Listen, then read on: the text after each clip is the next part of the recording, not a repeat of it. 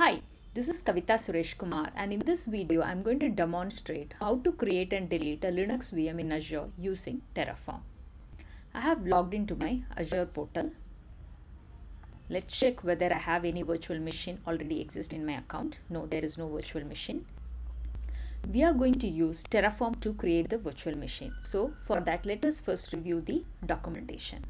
I'm referring to the Azure RM Linux virtual machine documentation.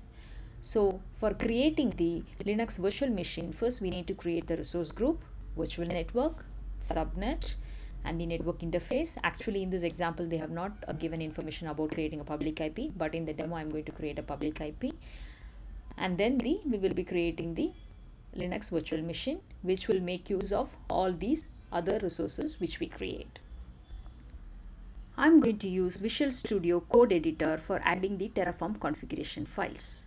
So Terraform expects all the configuration files to have an extension .tf. You can see already there is a providers.tf file. I have added the information related to the what provider we have to install as well as the other credentials which are required by Terraform to talk to Azure and create the resources.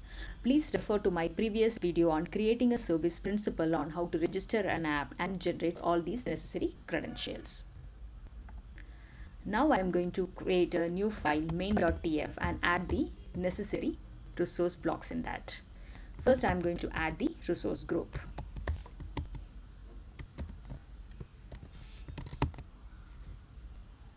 In this main.tf file, I am going to add the resource blocks necessary for creating a Linux virtual machine.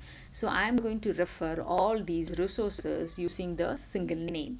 Uh, so I'm going to call it as a Linux VM. Now let's give the name for the resource group, VM group, and then we need to give the location. Location I am going to give us East US. So the next resource what we are going to add is the virtual network.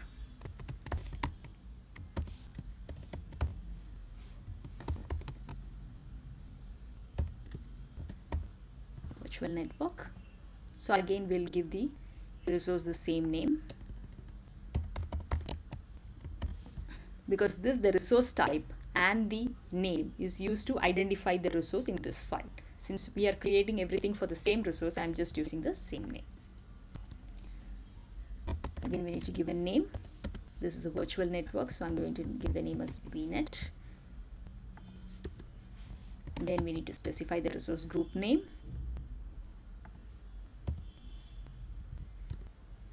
Need to give the location.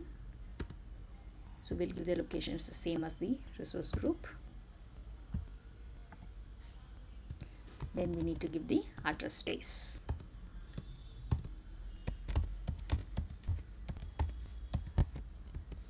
Okay, so now we have added all the necessary details required for creating the Azure Virtual Network. So next we will add create the subnet.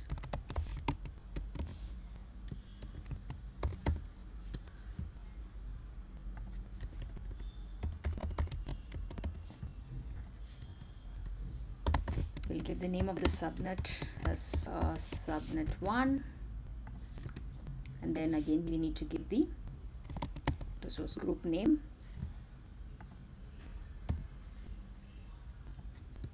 Then we need to give the virtual network name.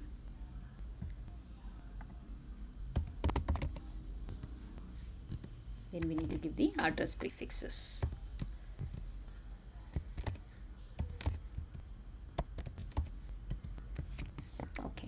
so we have added the necessary information for creating the subnet resource module also. Now let us add a public IP because I would wanted to show how we will be able to create a public IP and access the virtual machine from the local system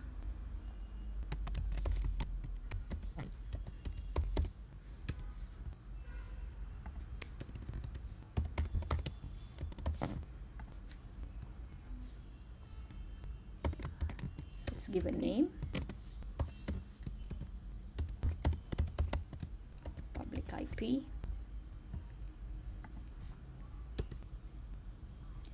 Then we need to give the resource group name.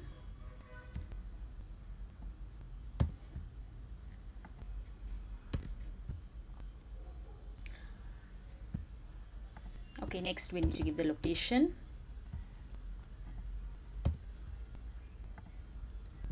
Then we need to give the allocation method.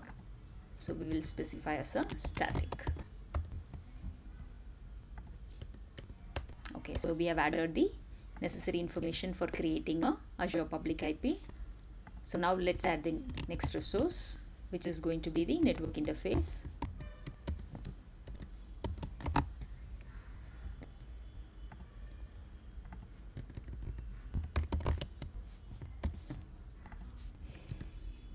We need to give the name for the network interface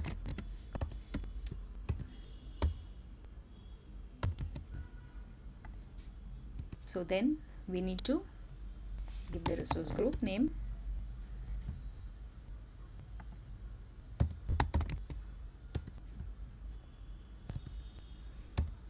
Location.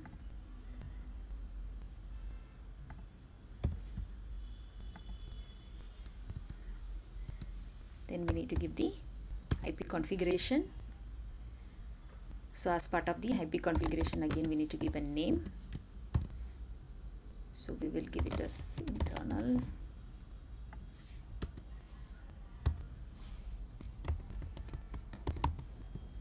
Then we need to give us private IP address allocation. We'll call it as dynamic.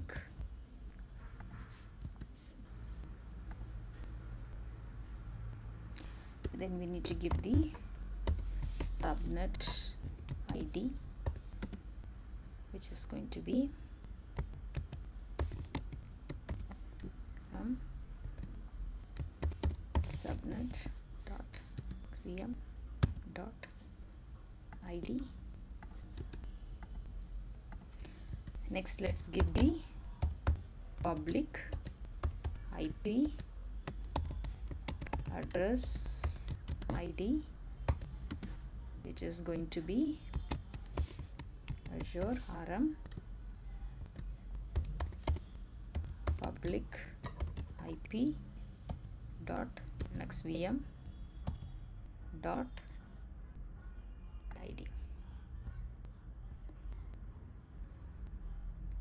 before creating the network interface we want the virtual network and the public ip to be created. So let's add the depends on and specify that we want the virtual network. And then we want the public IP also to be created. Okay so we have added the depends on. So now we have added the necessary information for creating the Azure RM network interface module. Now let's add the virtual machine.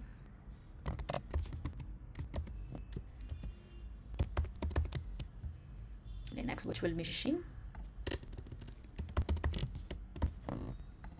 So we need to give the name for the virtual machine. So I'm going to just call it as Linux VM. Then again location.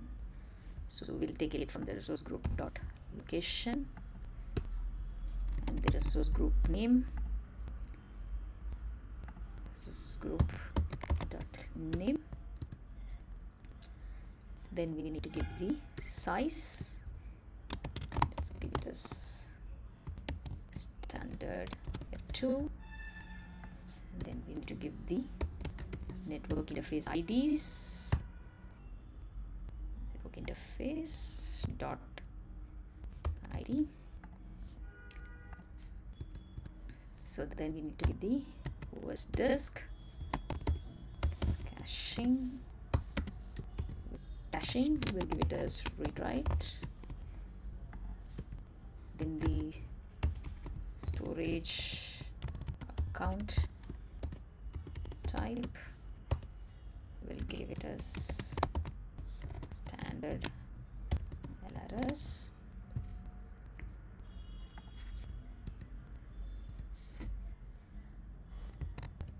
source image reference first we'll give the publisher.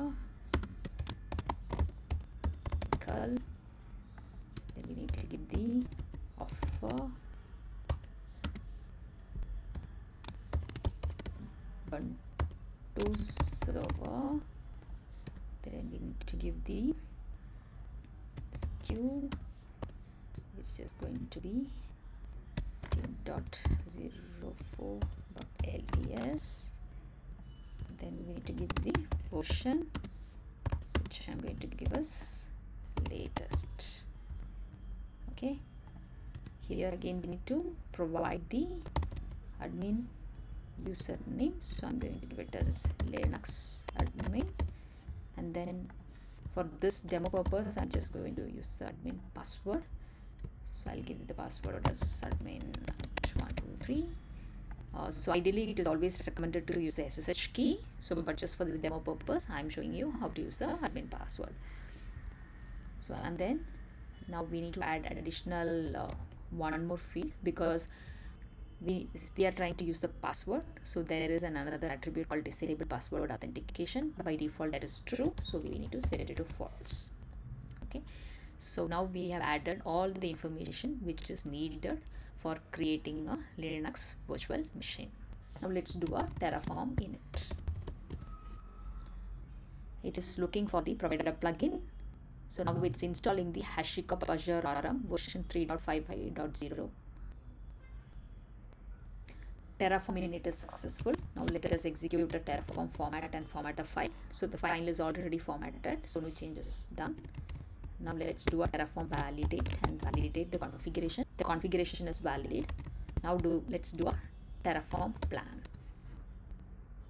The Terraform plan actually creates an execution plan. So it provides an information on what all resources Terraform is going to create, delete or update when the Terraform apply command is executed. Terraform uses the Terraform TF state file, so where it has the information about the existing environment configuration and it compares with the new configuration request. Based on that, it creates an execution plan. So you can clearly see we were trying to create six resources. It is providing the information about what it will be created. You can see the plus sign. Plus sign indicates it is going to create the resources. Also it says it will be created. It is going to create the linux virtual machine. It is going to create the network interface. It is going to create the public ip it is going to create the resource group subnet virtual network. So it is saying it is going to create six resources. Now let us execute terraform apply.